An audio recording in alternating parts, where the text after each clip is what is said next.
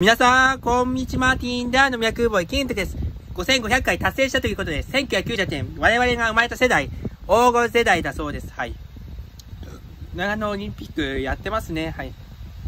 アイマークが発売し、ゲームボーイカラー流行、そして100円ショップ流行ですし、いろいろですね。2月に郵便番号が7桁になったそうです。2桁だけども、地域によっては4桁本当にありましたね。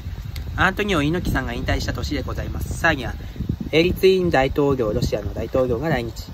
インド核実験、初の兄弟横綱誕生、貴乃花、若乃花ですね、二人。6月はドイツ、高速列車が脱線事故。フランスワールドカップで3連敗。中山雅史さんが初得点を挙げるもね、はい。クロアチア、ジャマイカ、アルゼンチンですね、当時は。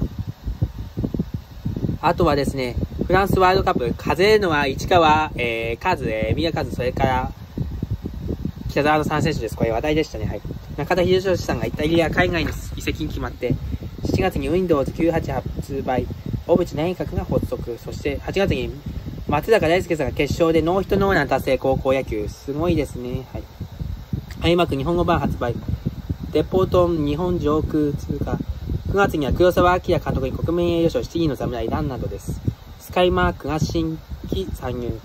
そして、10月になんと、マシンガン打線要する横浜ベイスターズが日本一だそうです。すごいですね。はい。12月に古都奈良が世界文化遺産に登録。砂漠の規制作戦あったね。寝台列車が再び現れたそうです。はい。明石海峡大橋開通したのは4月5日。和歌山で毒カレ事件、林真澄容疑者が浮上し、これ逮捕された事件ですね。あとは、長野オリンピックといえば清水宏保さんとか、あの、日の丸飛行隊もその活躍したね。はい。以上です。バイバーイ。